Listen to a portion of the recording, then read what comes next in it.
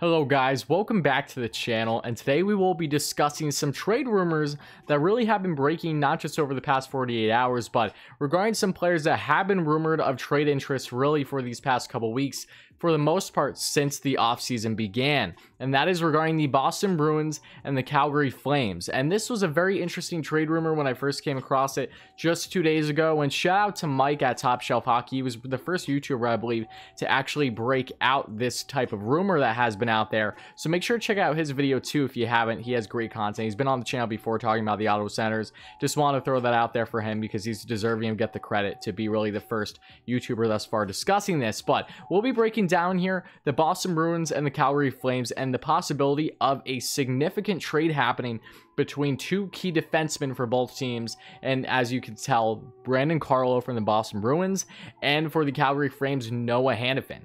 Could this actually come to fruition? Could this be a one for one trade? Could other pieces be involved? How would they make the cap work? And all the reasons as to why this is even a rumor to begin with, that's what I'll be breaking down for you today. So make sure you stay until the end of this video to find out all the deets and all the information regarding the latest rumors between these two teams. Can a trade happen? And if so, what can we expect it to be?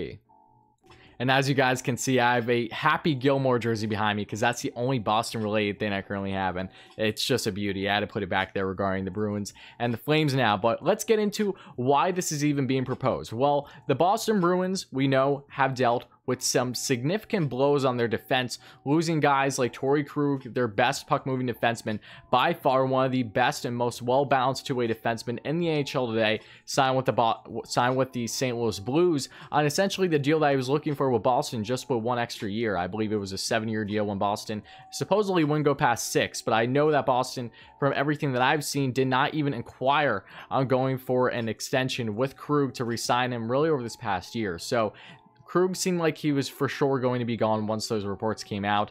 But Zdeno Chara, their captain, their longtime captain, we don't know what the future holds for him either. So they're dealing with some big blows on that left side defense currently. And to add a significant defenseman, Noah Hanifin, has been appealing to them for multiple years now. They have been rumored to have connections with Hanifin in the past. Being a Boston guy as it is, coming from that area, playing for Boston College, you know, the Bruins tend to fall in that category of liking guys that are originally from the area or play, whether it's for BC or BU or whatever it may be. So in that self, there already was a connection there. But now they, they have this hole on their left side defense.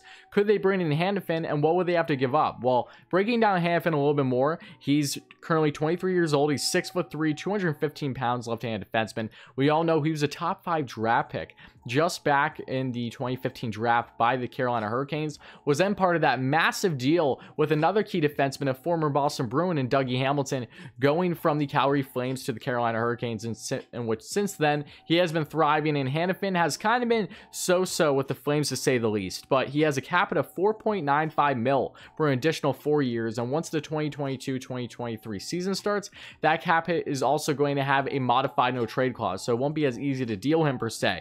But in 70 games played this past season, Hanifin had 22 points, including 5 goals and 17 assists. The year prior, he had 33 points in 80 games. So Hanifin is a guy that really hasn't lived up to the potential as of yet in his career when it comes to being a worthy top 5 pick. He hasn't put up those offensive numbers that were maybe expected as really a strong two-way defenseman in the game today. And don't get me wrong, he is a strong defenseman, but he has been a little underwhelming at times for a significant contract that I believe was originally a six-year deal with the Calgary Flames. And with their current cap crunch, they only have 1 million cap space that they're currently dealing with. They have been rumored for really over this past year to possibly deal Hanifin in the past. So it wouldn't really be all that surprising to me to bring in a more young control, not even more young, a controllable defenseman on that right side that they have been lacking with losing key guys this um, offseason between whether it's guys like TJ Brodie, who, yes, he's left handed, but he plays the right side, and Travis Hamonic, more than likely, among others. So their defensive depth isn't terrible by any means, but they would like to add on to it. And Brandon Carlo is definitely a good defenseman to keep in mind. So could we have this one for one happen? Well, let's break down Brandon Carlo now. Carlo, same age as well, only 23 years of age. Similar build as well, even taller. 6'5", 212 pounds. He's a towering defenseman and a very strong stay-at-home defenseman, might I add. He has a cap of 2.85 mil for one more year than he is in RFA. So it'll be interesting to see if they could work out an extension if, say, a trade is in place. And I would assume it'll probably be around 4 mil, if not less. Maybe he can get him right under 4 mil, but he's probably deserving around that category. Even with the flat cap, he's a very solid stay-at-home defenseman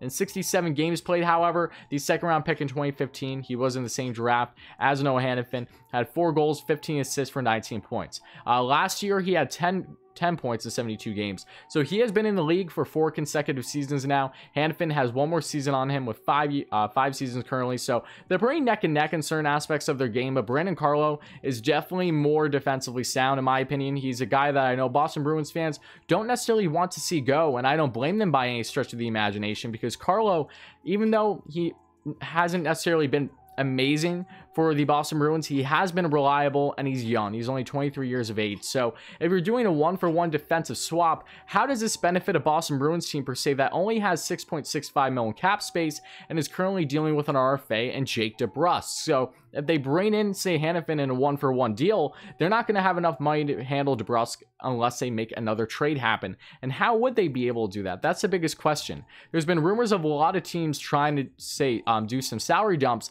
this offseason, but to no fruition as of now. Could things change? Yes, they surely can change, but time will tell regarding that aspect. So let's look at this a little bit further here. If say we have a one for one with Calgary, it makes sense to bring in a right-hand defenseman to add really be in that top four um, for the foreseeable future, and they could probably land him on an extension. And yes, they don't have the cap space currently, so they would have to probably trade someone else. So could other players be a part of this deal war? As Mike mentioned from Top Shelf Hockey and has been in the articles that have with these rumors coming out really over this past week, is that we could maybe see some other players mentioned to make this deal happen cap wise for the for the Boston Bruins side of things, it would be Jake DeBrusk, and for the Calgary Flames, it would be Sam Bennett. Now, looking at that at first glance, that doesn't make any sense to me if I'm uh, uh, Sweeney for the Boston Bruins. I just don't understand that because if that's the case, a two for two, let alone a one for one, I don't think it's benefiting Boston enough here because Jake DeBrusk definitely has more offensive upside than Sam Bennett. I know that they aren't necessarily too far off, but Sam Bennett has yet to be a consistent uh, point producer at the NHL level, even in a more limited role at times with Calgary. Originally a top five draft pick, I believe he was drafted fourth overall back in um 2014. He was so Sam Bennett. A lot of hype behind him coming into uh, after his draft. Same thing with Jake DeBrusk. DeBrusk has been solid, just has a lack consistency at times in that top nine for the Boston Bruins. DeBrusk, however, he's 24 years of age. He's 6 foot, 188 pounds. Originally drafted in the first round of 2015, part of those consecutive three straight first round picks. Only DeBrusk is showing for it thus far in the NHL. Uh, the left winger, he's an RFA currently, so probably be looking for a cap at anywhere between 3.5 and 4 mil. If I had to guess, I would probably say around 3.5 mil for a bridge deal. I think that would make sense for him, if not longer term. Um, he had 35 points in 65 games this past season, which wasn't bad. 19 goals, 16 assists, but you could expect more point production out of him. While the year prior, he had 27 points, 27 goals, I should say, 15 assists, 42 points in 68 games. That was really his coming out party just a year ago for the Boston Bruins. And now he finds himself in a rather tough situation where he has been in plenty trade rumors. He's been connected to the Edmonton Oilers because I know that his father works with the um, Oilers organization. So it is kind of odd to see him possibly being rumored to go to the rival of Alberta in the Calgary Flames. Could it happen? It could, but it really wouldn't make sense to me just on the forefront. Because now let's get into Sam Bennett here. Bennett, 24 years of age as well, 6 foot 1, 195 pounds, can play both the center and the left wing. However, Boston would want to utilize him, whichever is more of his strong suit. He's a defensively reliable forward that just has been lacking that offensive upside thus far in his NHL career. He only had 12 points in 52 games this past season in that bomb six for the Flames. And the year prior, he had 27 points in 71 games. What is very odd, however, is the fact that Sam Bennett had his best statistical season to date was his rookie year, his full, his first full year in the NHL, which was back in 2015-2016, in which he had 18 goals, 18 assists for 36 points. really strong rookie year for him and looked like it was going to be promising going forward.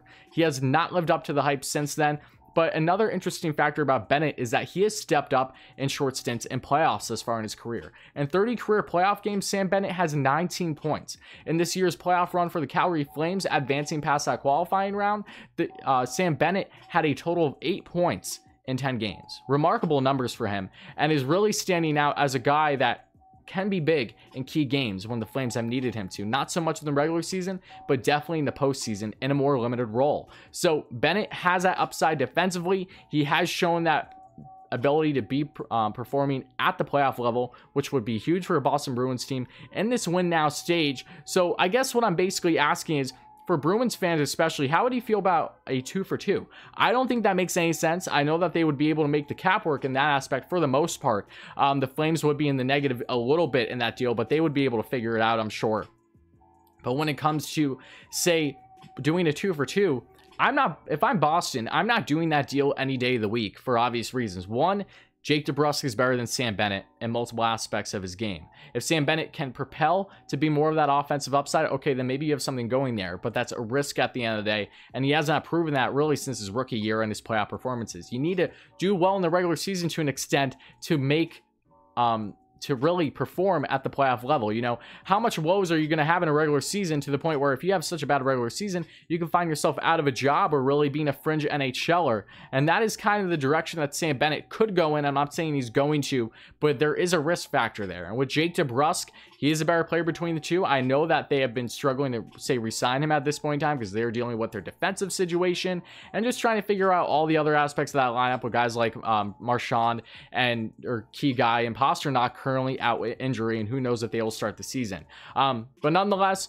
if I'm the Boston Bruins in this situation, if I really want to make this deal, I would try to do even a one for one wouldn't make much sense. I think Brandon Carlo is the better defensively minded defenseman between the two, and Noah Hanifin hasn't shown enough offensive upside to really justify doing that one for one and taking on that significant cap hit for another four years with a Boston Bruins team that has already cap stretch, uh, cap strapped as it is. They would have to make other moves happen if it was say a one for one. So if I'm Boston, once again, I would add a, I would want to make sure that either a first round pick or a key prospect is added in the deal. We're uh, especially if it's a two for two. I think that would make most sense for both teams. The Flames, I'm sure they could be willing to part ways with say a later round first round pick for next year, or say one of their key prospects, because I think that is the best scenario for both teams in my mind. So Boston can either add a significant pick or a significant prospect that could help balance out things with the deficit immediately of, say, being a one for one Hanifin for Carlo, or if it's a two for two per se,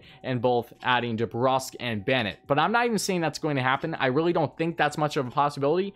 All the rumors that I've been seeing as of late are indication that a one for one is more than likely than, say, a bigger package. It's not inevitable, but it is still something to consider. I think a one for one at, at this point in time makes more sense. What they have been saying, at least from the rumors I've been seeing. I'll make sure to let keep them in the description down below. But I want to know your thoughts, guys. Whether you're a Bruins fan or a Flames fan, would you welcome this for Boston side things? Would you be a fan of bringing Noah Hanifin, originally from the area, a Boston College alum, having him with the Boston Bruins? I think that'd be a cool story. He could benefit. He could thrive with a better offense in Boston for sure when it comes to st statistics than Calgary currently. So could he put up that point production like he has in the past? Maybe get upwards of 35 plus points as a cons consistent two-way defenseman in the NHL?